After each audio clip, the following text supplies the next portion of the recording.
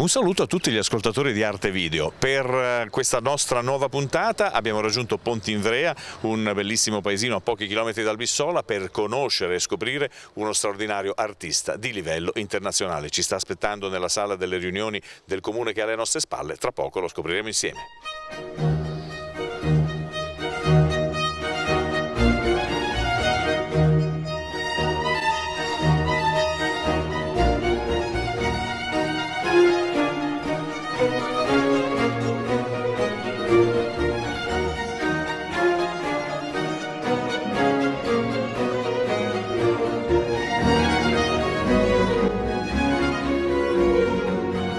Dalla sala delle riunioni del comune di Pontinvrea in provincia di Savona, a pochi passi, a pochi chilometri da eh, Albissola, troviamo un grande, grandissimo, straordinario artista. Luigi Prettin e le sue opere esposte in questa sala che conosceremo tra poco. Prettin, buongiorno, buongiorno. Eh, grazie per essere con noi. Opere straordinarie quelle che scopriremo. Ma intanto lei è veneto e quindi ha raggiunto la Liguria. Sì, sono arrivato diciamo così dopo l'alluvione del 52 là e sono arrivato al Bissola e, e mi sono trovato son, dove ho detto qua sono nel paradiso no? perché c'era arte c'era tutto io già dipingevo da bambino eccetera no?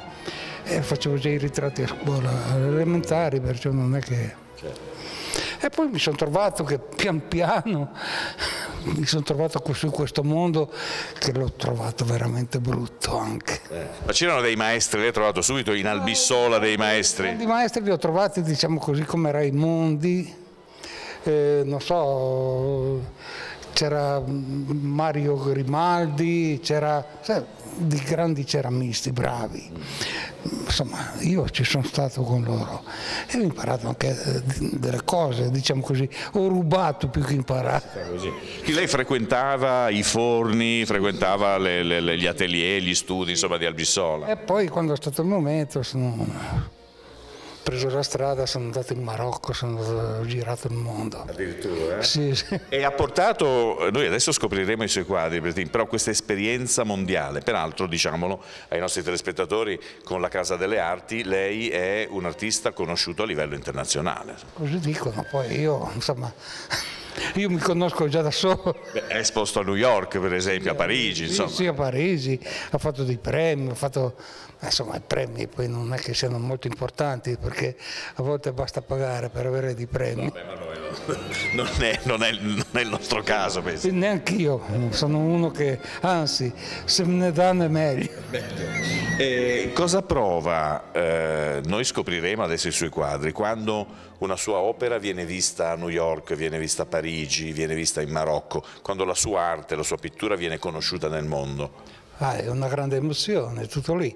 Poi io trasmetto delle cose che, insomma, io so su questa terra che siamo in affitto, mm. Ma un giorno verranno e ci manderanno via. Mm. Però nei suoi quadri eh, con la nostra Camilla Bonacchi, nei suoi quadri sembra un po' di assistere a questo passaggio no? esatto. terreno, è vero. E intanto Pretin, lei in questo quadro, del quale ci dirà il titolo, mh, mm, si porta dietro delle atmosfere veneziane. Sì, eh, io sono veneziano per forza. No, questo diciamo così, mi sono un po' ispirato così al Mose.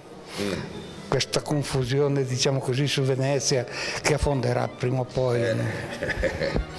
Però l'artista, coglie no, l'ultimo momento. Poi diciamo così mi, mi, mi, ispiro molto ai tramonti perché si vede no, i tramonti, alle nevicate, come, so, invece questo qua è già sì, sì. Questo è un tramonto, questa luce che noi vediamo. Tramonto, tramonto sì, tramonto veneziano. Sono quei colori, no? Perché sono unici, sono unici, non si può sbagliare. Eh, insomma, sì. I colori di Venezia quelli sono. Qual è la sua tecnica? C'è qualche cosa da raccontare ai nostri telespettatori eh, sulla sua tecnica? Eh, c'è poco. Vorrei farvi vedere come perché ho fatto per qualche anno anche giù al Bissola, facevo vedere come si dipingeva. Praticamente io dipingo quello che sento. Mm. Non è che io sogno, quando dipingo sogno non me ne frega niente, diciamo così, se fosse da copiare del vero, sì, io lo faccio, perché insomma ma è troppo facile. Diciamo che qui si parte dalla realtà, quella realtà che lei ben conosce. Eh, abbiamo ricordato la chiesa di Venezia. Sì, la salute, la chiesa della salute. C'è Piazza San Marco vicino, no? di fronte. Sì, di fronte. E poi, insomma, poi dall'altra parte c'è, diciamo così, l'isola di San Giorgio, dall'altra parte sì, di là. Di là. Sì, da, dall'altra parte diciamo che c'è il Redentore. Insomma, io lo conosco Venezia perché sono nato. Eh, ma dove, dove, dove, è nato Venezia? Che... No, io sono nato veramente a Chioggia. Sì, poco...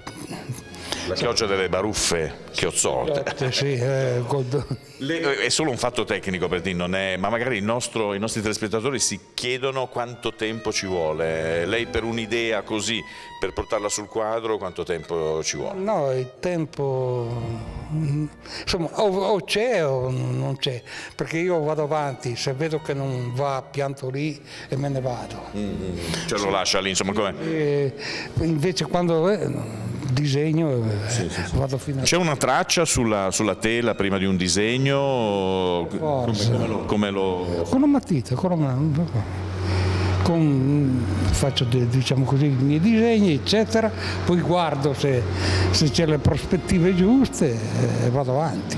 Ecco, senta, una, ci spostiamo adesso su un altro quadro, ma una tela di queste dimensioni, no? non la spaventa? No, vorrei farne di più grosse. Io nel tempo, tanti anni fa, ne avevo fatto uno che era 100 metri quadri. Poi dov'è adesso questa, questo? Non so, so che l'aveva comprato un cinese, ma poi non so la fine che ha fatto. No? Beh, avrà fatto, c'è molto spazio in Cina. Quello mi sarebbe piaciuto da averlo qua e, e da poterlo far vedere. Allora, prima di spostarci su un altro quadro, c'è qualche cosa, intanto il titolo no, di, di quest'opera. Sì, eh, c'è tanta Venezia? Eh, sì, diciamo così, più che altro è ispirato, eh, si può dire, non so, Tarquato Tasso più o meno, eh. queste... Sì, sì, sì, queste battaglie queste eh, Ma non, poi il titolo del quadro io non, non lo considero mai, sì, mm. Beh, glielo metto perché è giusto, no? Questo è un titolato Venezia, Venezia. è finita lì. Venezia. Invece quello un tramonto è diverso. Eh, quell'altro io direi, cioè direi, concluderemo poi no, con eh, quel quadro che vediamo. Ci spostiamo allora con Luigi Pretin, vi ricordo, noi siamo, questa nostra trasmissione eh, un, ha uno scenario particolare ed è quella della, di questa sala del comune di Pontinvrea. Il comune di Pontinvrea, venga Pretin, si trova a um, pochi eh, chilometri da Albissola, Albissola Crogiolo di arte e di artisti e ci spostiamo siamo quindi su questo altro grande, grande quadro Pretin.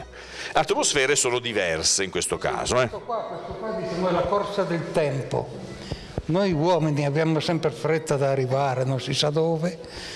Ecco. Perché, come mai? Come mai, eccetera. Ecco, io ho dedicato questo al tempo che noi curiamo sempre. Che...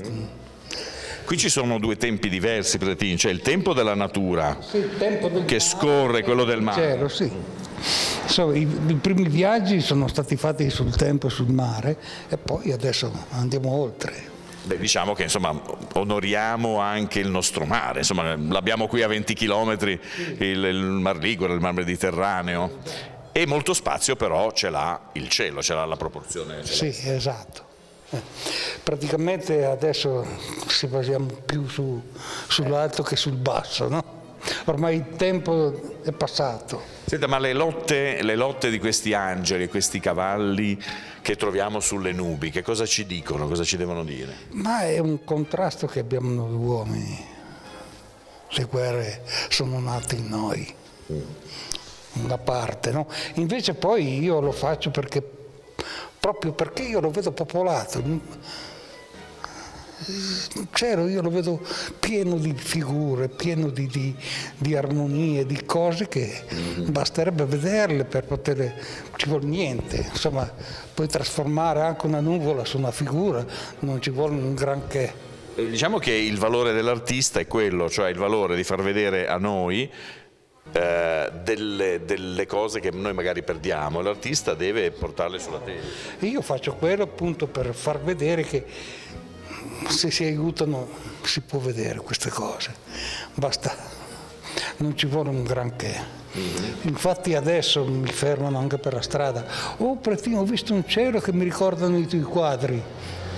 Io sono contento. È una, è, una, è una, bella soddisfazione. Questo, questa tematica, Pretin, eh, le appartiene da quando era, era ragazzo, da quando dipingeva? Ragazzo, infatti c'è stato il critico americano che mi ha detto per me sei un caposcuola e ha detto per me è una pittura fantastica la letteratura è già stata fatta, dice, ma questo sui quadri non è mai stato fatto. Ecco, le avranno anche detto, Bretin, che non è metafisico, non è, non è, surreale. Sì, sì, Johnny Spike si chiama il critico. Ecco, Johnny Spike. Johnny Spike sì. E che effetto, cioè che effetto, cioè personalmente è una gratificazione, insomma, il più grande critico le dice una cosa del genere. Ma io non è questione, non è che ci tengo molto, io dipingo perché piace, poi che dicono quello che vogliono, a me non interessa molto. No, lei, lei è, eh, è, veneto, però ha preso molto del Ligure perché proprio è di, basso, è di, basso, profilo, cioè le dicono che è uno dei più grandi artisti del mondo e lei dice ma no, ma io non, non ci tengo. No, no, magari, no, mi piacerebbe anche, non so, per esempio io ho conosciuto nel 52 Picasso, 53, un grande artista, grande senza, artista. Dubbio, no, senza dubbio, però è stato anche uno dei primi che ha mistificato un po' l'arte perché l'ha uccisa un po'. Mm. Sape, per quello che sapeva fare lui, che era addirittura quasi come un Vermeer, mm-hmm. diciamo, no? Sì, sì, sì, poi, ma perché poi l'ha rovinato? Insomma, io, lui gli piaceva delle belle donne, non con un occhio qua, con un occhio eh beh, il cubismo a un certo punto ha avuto questa invenzione, pensiamo anche ai tagli di Fontana, cioè che a un certo punto... Eh, ma Fontana di nuovo anche lì, che l'ho conosciuto quando era andato a Roma per fare queste porte, diciamo così, di bronzo, no? Che poi era stato Manzù che aveva vinto il concorso. E lui si stava Vaticano, sì, il bronzo del Vaticano. E appunto lui eh, si arrabbiò tagliò la tela mentre si faceva la barba. Ecco il colpo di segno no? oltre la tela lo spazio. E lì è nata la pittura spaziale. Abbiamo scoperto questo. Nei eh, quadri, nei dipinti no, di Luigi Pettin lo spazio c'è è presente ed è vissuto alla sua maniera, con molta leggerezza, nonostante queste battaglie di questi cavalieri bianchi e di questi cavalli bianchi. Io mi, insomma, mi diverto, io dipingo perché mi diverto, mi piace, se no per esempio vorrei far vedere delle, dei quadri dove ci sono dei vigneti in Piemonte, eccetera, non so, alla Morra, no? si vede vigneti all'infinito, no? con delle prospettive bellissime, dove si gioca con l'anima. Mm-hmm. Eh, mi sembra di capire che lei vada anche alla ricerca dei valori della natura, dell'equilibrio della natura, no? È quello che cerco io, e se lo trovassi mai chissà. Ecco, noi vediamo e vedremo in questa puntata tanti cieli, tanti, tanti azzurri, ma c'è anche una natura, beh sì, lo, lo vedremo tra poco, poi nel, nel prossimo blocco, eh, che riguarda poi la, la, invece il territorio, la terra, come descriveva la Morra in Piemonte. Ci fermiamo qualche secondo e poi riprendiamo con nuovi straordinari quadri. A tra poco.